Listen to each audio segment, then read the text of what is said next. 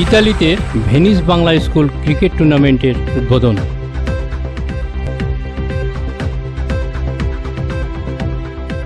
আসসালামু আলাইকুম। এমকে টেলিভিশনের খেলার সংবাদে আপনাদের সবাইকে আমন্ত্রণ জানাচ্ছি আমি শারমিন মিনা। স্পোর্টস জোনের সৌজন্যে এখন দেখবেন বিস্তারিত।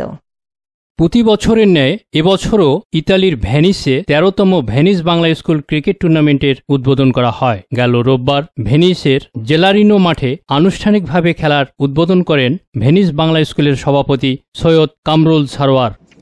ভালো করেই করার কথা ছিল, কিন্তু আমাদের বাংলাদেশের বর্তমান যে পরিস্থিতি, এই পরিস্থিতির জন্য আমরা খুব একটা আনন্দ করতে পারছি না, কারণ আমাদের দেশে বন্যার যে প্রভাব ফেলছে, এটা আমাদেরকে অবৈরবেরই সন্তান।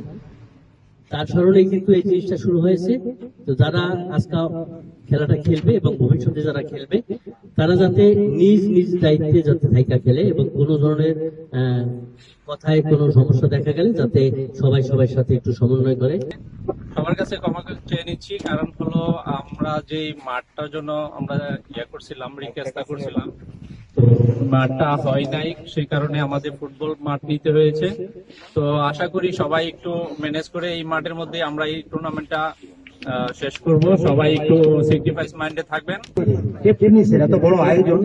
সত্যি আমাদেরকে মুক্ত করে আমাদের হবে এবং সরাসরি আমরা ধন্যবাদ জানাই যে এইরকম সুন্দর সুন্দর সাধনা শারীরিক গঠন তৈরি করে। তো বিদেশ স্কুলকে আজকে বছর পা রেখেছে এই খেলাটি আমরা আয়োজন করেছেন টেনিস বাংলা স্কুলকে আশা করব তারুণ্যদেরকে আমরা খেলাতে যদি অংশগ্রহণ করি, খেলাতে অনুষ্ঠানে উপস্থিত বাঙালি কমিটির নেতৃবৃন্দ।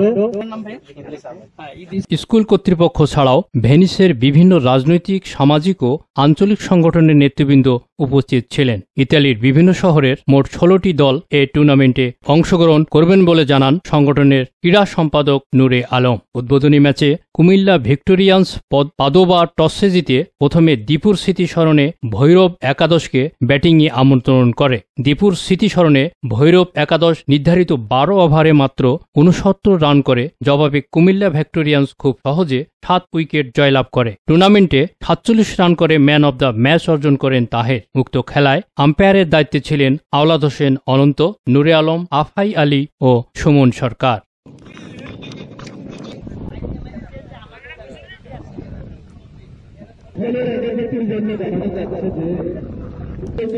আলমামুন মিলন, ক্রীড়া এম কে টেলিভিশন। শেষ করছি এমকে টেলিভিশন খেলার সংবাদ। এতক্ষণ সাথে থাকার জন্য অনেক অনেক ধন্যবাদ।